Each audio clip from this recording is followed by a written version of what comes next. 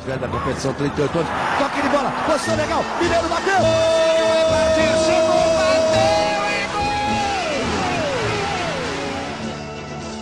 Localizado em uma das áreas mais nobres da cidade, o estádio Cícero Pompeu de Toledo foi projetado pelo arquiteto Vila Nova Artigas e teve sua primeira fase da construção inaugurada em 2 de outubro de 1960, com o jogo entre São Paulo e Sporting de Portugal, vencido pelo tricolor paulista.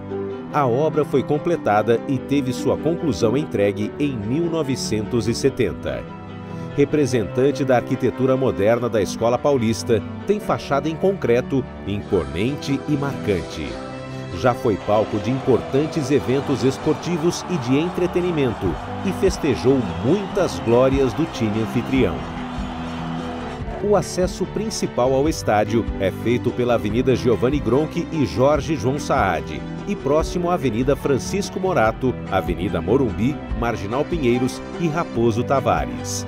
Um projeto já em andamento que promete melhorar o transporte público na região é o da implantação da linha 17, Ouro, que ligará o final da linha 4, amarela, ao final da linha 1, azul do metrô, passando pelo aeroporto de Congonhas.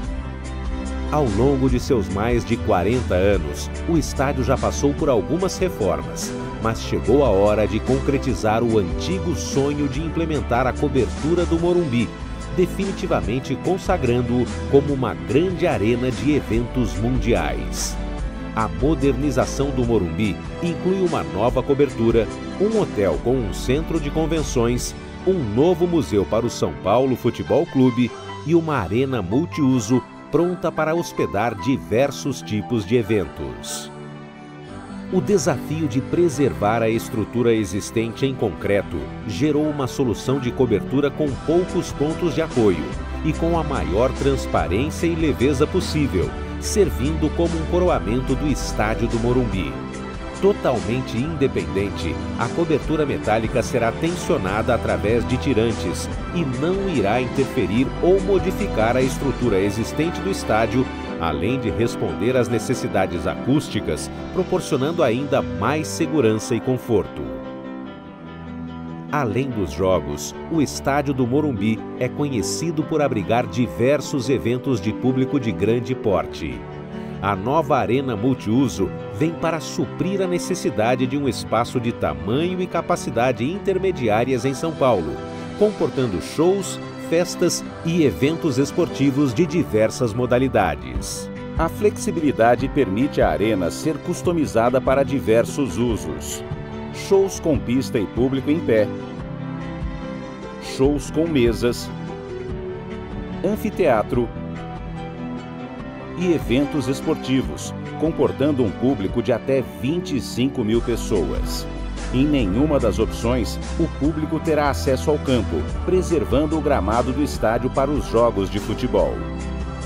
Na proposta de modernização está prevista a construção de um hotel para suprir as necessidades não somente do Morumbi, mas de toda a região do seu entorno. Além de dispor de alguns apartamentos com vista direta ao estádio, os hóspedes terão à sua disposição uma piscina coberta e uma academia, bem como uma ligação direta ao estádio e à arena. O projeto prevê a criação de novas vagas para automóveis, divididas em quatro níveis para uso tanto do hotel quanto do estádio. O complexo também abrigará um centro de convenções com acesso pelo hotel.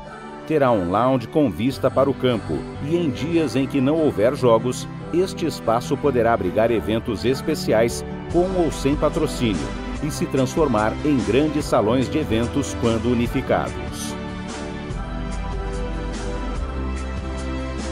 O projeto inclui também uma homenagem ao time mais vitorioso do futebol brasileiro, o novo Museu do São Paulo Futebol Clube, Localizado na esplanada de acesso da Avenida Giovanni Gronchi, este novo e moderno espaço abrigará a história e as vitórias do tricampeão mundial e hexacampeão brasileiro, proporcionando mais conforto aos torcedores e visitantes.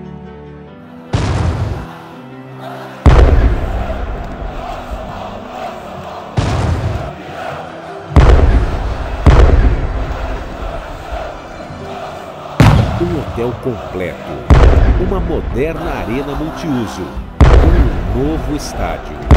São Paulo Futebol Clube. Soberano. São Paulo Futebol Clube. O mais querido.